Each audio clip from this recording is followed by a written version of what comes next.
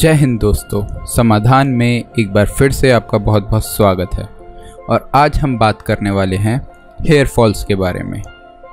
दोस्तों, hair fall एक बहुत ही कॉमन प्रॉब्लम है। लेकिन ये प्रॉब्लम काफ़ी बड़ी हो जाती है क्योंकि हमें इसका इलाज ठीक से नहीं मिलता। इसका कारण ये भी है कि हमें पता नहीं कि हमें किस वजह से हेयर फॉल हो रहा है।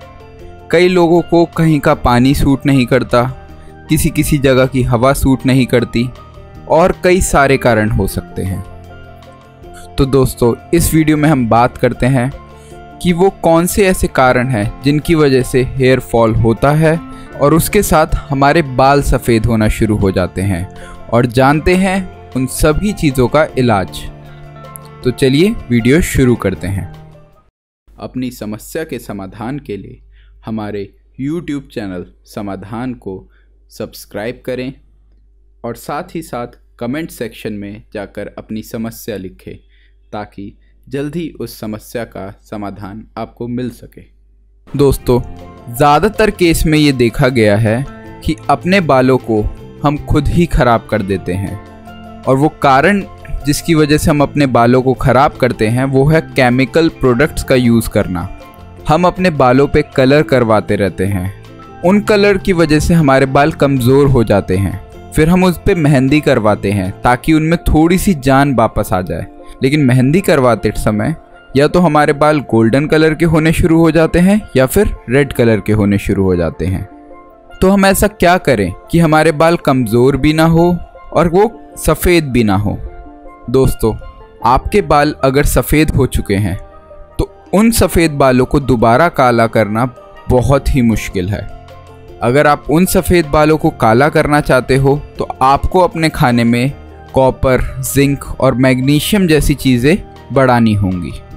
लेकिन अगर अभी तक आपके बाल सफ़ेद नहीं हुए हैं, या फिर सिर्फ़ सफ़ेद होने की शुरुआत हुई है और आपके बाल कमज़ोर हो रहे हैं तो पहले मैं आपको एक होममेड मास्क बताता हूँ, जो आप अपने बालों पे लगा सकते हैं और उससे आपको काफ़ी ज़्यादा फ़ायदा होगा।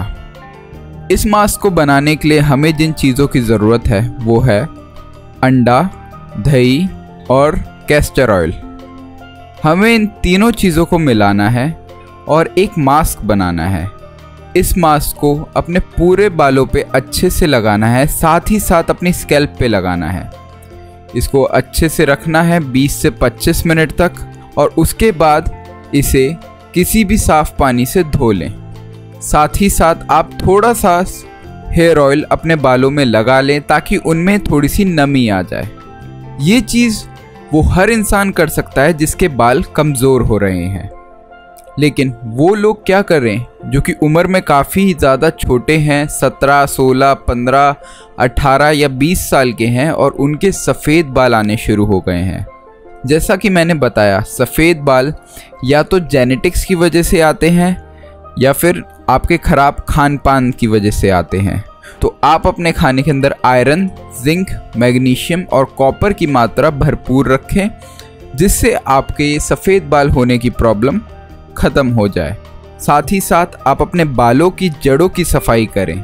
और जड़ों की सफ़ाई करने के लिए जो चीज़ें आपको चाहिए वो है अरोमा ऑयल और aloe vera gel. Aroma oil आप किसी भी कंपनी का यूज़ कर सकते हैं। आप चाहे तो चेस का ले लीजिए, आप चाहे तो ब्लॉसम क्रॉचर्स का ले लीजिए, ये दोनों ही काफ़ी अच्छे ब्रांड हैं। और अगर आपके घर पे एलोवेरा का पौधा लगा हुआ है तो आप वहाँ से फ्रेश एलोवेरा लीजिए, जो कि बहुत ही फ़ायदेमंद होता है। आप इन दोनों को मिक्स कीजिए और अपने स्कैल्प की अच्छे से सफ़ाई कीजिए।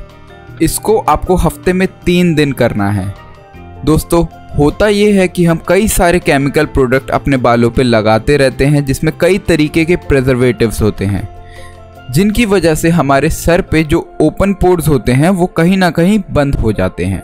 जब हमारे सर की स्कैल्प ठीक से सांस ही नहीं ले पाती तो उसमें कई सारी तरीके की प्रॉब्लम्स होनी शुरू हो जाती हैं, जिसमें से सफ़ेद बाल, उन्हीं में से एक प्रॉब्लम है। तो आप इस चीज़ को ट्राई कीजिए हफ़्ते में तीन बार। आपको इसको दो से तीन महीनों तक लगातार ट्राई करना है। अगर आपका किसी भी तरीके के कोई भी सवाल हो तो आप नीचे डिस्क्रिप्शन बॉक्स में अपने सवाल डाल सकते हैं। हम जल्द से जल्द उन सवालों का जवाब देने की कोशिश करेंगे, और अगर आपको किसी स्पेसिफिक टॉपिक पे कोई वीडियो चाहिए तो वो भी हमें कमेंट सेक्शन में बता सकते हैं। दोस्तों, बालों की प्रॉब्लम कई अलग अलग कारणों की वजह से हो सकती है, इसलिए आप अगर कुछ ही समय पहले आपके आसपास की कंडीशंस चेंज हुई है और उसकी वजह से आपके बाल टूटना, गिरना ज़्यादा शुरू हो गए हैं तो आप उन चीज़ों पे ध्यान दीजिए, क्योंकि कई बार हम अलग अलग तरीके के नुस्खे आजमाते रहते हैं, लेकिन उस समस्या का इलाज कहीं और ही होता है। तो ये उन लोगों के लिए जो कि केमिकल प्रोडक्ट काफ़ी ज़्यादा इस्तेमाल कर रहे हैं। अगर आपको ऐसी वीडियोस देखना अच्छा लगता है तो हमारे चैनल को सब्सक्राइब करना ना भूलिएगा। तो आज के लिए इतना ही। जय हिंद मेरे दोस्तों।